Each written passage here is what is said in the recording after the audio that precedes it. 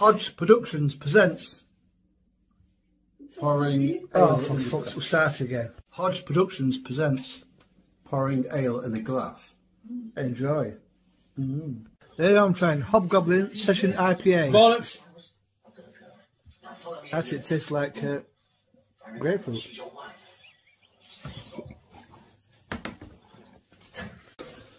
P&J Productions present Ale in a Glass. We will largely be supping Carlsberg. and uh, we will enjoy it. Nice and chilled. Mm. Mm, hope you do too. Mm, That's what we do. Mm. Welcome to P&J Hodge Occasional Beer Reviews. And today we'll be trying Skull. Skull Lager. I'm going to try Foster's Papa Shandy. It might be nice. P&J Productions present trying to pick up Skull Lager. Are you ready? In a glass. Yeah. This terrifies me. That's why I'm never going to go in there. However, I do know a man who has. Who's much more intrepid and exploring than me, and that's Martin Zero, one of my all-time YouTube heroes and the inspiration for this channel just in general. And he actually came over to the right side of the Pennines for once to do a video inside this tunnel. I'll link that up in the corner here. So if you want to click on that and watch it and see what's inside here, please go ahead and be my guest. It's absolutely fascinating.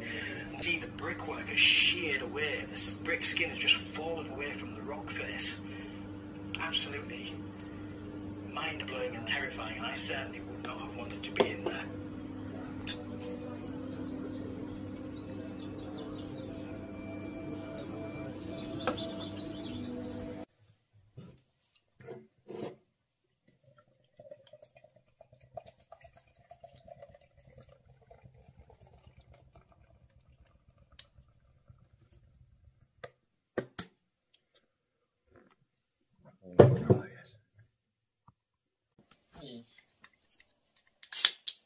Się chce z nim nazwisko wymienić?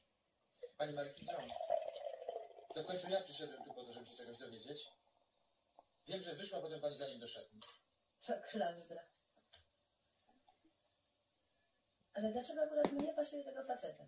Skoro ja siedziałam z innym. A tamten przyszedł tylko na chwilę. A można wiedzieć, z kim pani siedziała? Nie prowadzę ewidencji. Mamy zajrzeć do naszej? O czym rozmawiali? Nie wiem, Pani Markizo, poszli z tym do toalety. A jak wyszli, and I think it was possibly the Korean War where they were used for the first time, patching up First one. soldiers blown apart. A couple of clamps, please. This is the artery under clamp control, and really we've stitched this graft in to the top, and this is going to replace the aorta, and these are going to come down to the groin. the Devon and Somerset Railway, every disused station number 41. 41.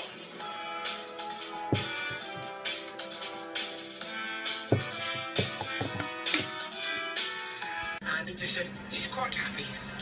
And it's a shame it didn't catch on more, and the perception was it was a very much male industry. Um, but hey, different. No complaints. It's a different world, different time, a different history, and not one now. It's part of me.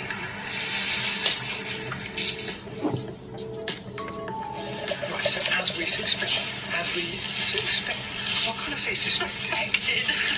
as we um, suspected, someone just put a massive fence there, as if it's their garden.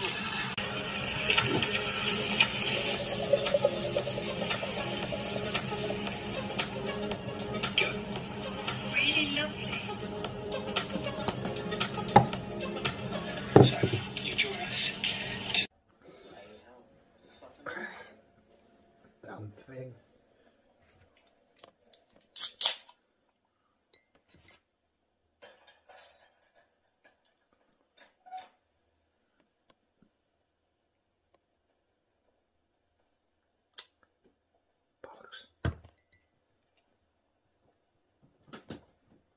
Ah.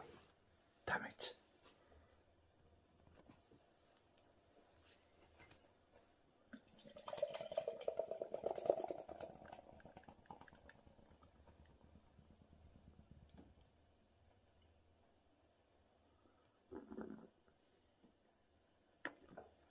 That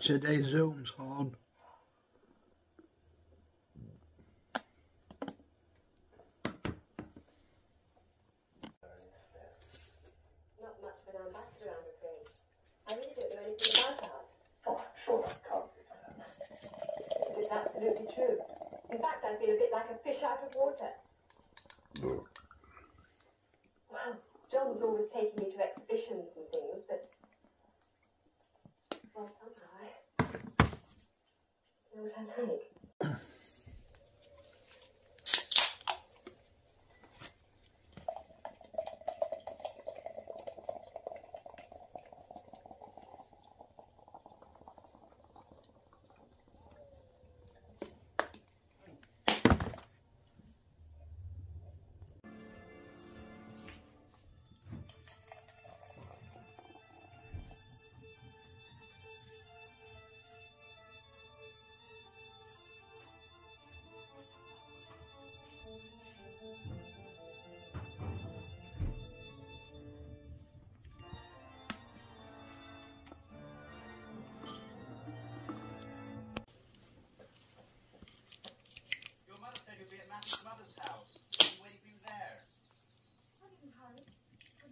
I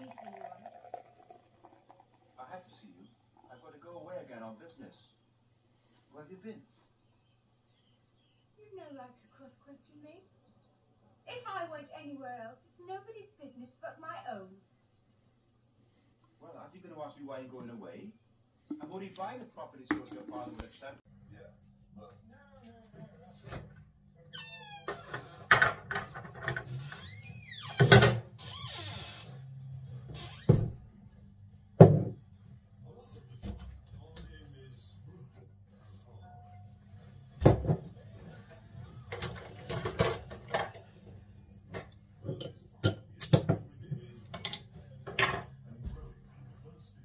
Red Rock in 4.2% brewed in Devon from the uh, Red Rock Brewery.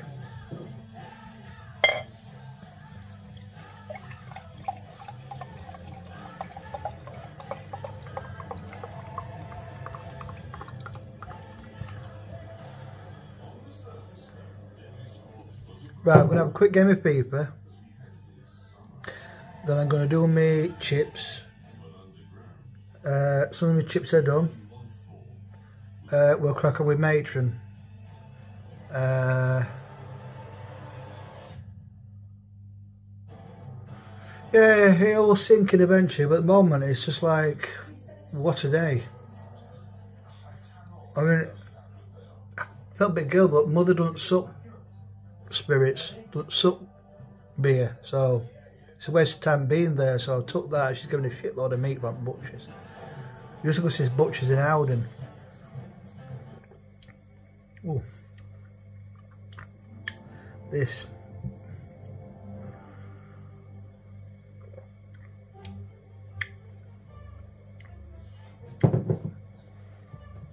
Well, it could have been another, maybe another couple of hours chilled. Well, mm. So again, this is Red Rock Breweries Red Rock. It's uh, smooth and malty, 4.2% English bitter, brewed in Devon, and it does taste like a hint of toppy treacle.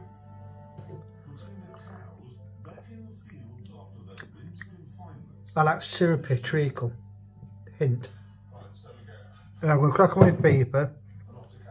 Uh, and then, so, give, so, but as soon as, I've, as soon as my chips are done, because I like, I like to watch a few episodes of some mid documentaries on um, uh, on his, the iPad, which is in, in the kitchen at the moment. Um, when it comes to the day when obviously everything goes full circle regarding internment and all that. Um, I'll let you know if you wish to come. Obviously, uh, we'll organise it so if you want to stop over, you can do. If not, obviously we'll sort out transportation. But uh, let you know, then you can tell the powers that be where you're in the well hung department. Uh, because obviously I'm allowed two days paid, well, three days in total. apart from the fact that Chesil Beach connects it. Chesil Beach is a natural phenomena of uh, shingle, stones, all sorts. 18 miles long. it goes all the way up the, the Dorset Jurassic coast. But that is what makes Portland an was a cheeky monkey? doesn't make Portland an Parkway island? The fact that Brewing Company. exists. So ahead of us now is the beautiful Chesil Beach. I remember coming here as a kid. 18 miles of stone separating uh, itself from the inland. Now be- behind us, just there, would I'll have been let it the settle. very famous Weymouth and Pouch Railway. Pouch. Did you just say pouch? Yeah, let me just let me just check my notes. Yeah, Weymouth and Pouch Railway built 1865 mixed gauge, so it could take standard gauge and broad gauge railway trains to Portland. As in pouch, as in the free desktop Right, browser settle now. extension that automatically pops up when you're shopping and gives you the best discount codes. Oh, Yeah, it does seem a bit odd, um, doesn't it, that a uh, desktop browser extension would uh, build such an important link to the island. that's definitely what I, I think what they call a blonde What else did beer. build apart from Um, railways? Well, funny you should say it because the other day I was looking at Mountain Warehouse uh, website and I found myself an amazing deal of free. It's like a really harsh lager, maybe- maybe a hint of pepper in it. You get to pouch automatically popped up. Now it found me a discount code and it It's like a- applied, and even though it this was is why I in the same, prefer Carling. saved me a Yeah, because £13 Carling, it might not have a punchier taste, but this It's is smooth and really refreshing. I also heard that they actually work on Right, we'll crack on with potatoes. I'll let you know when I'm ready.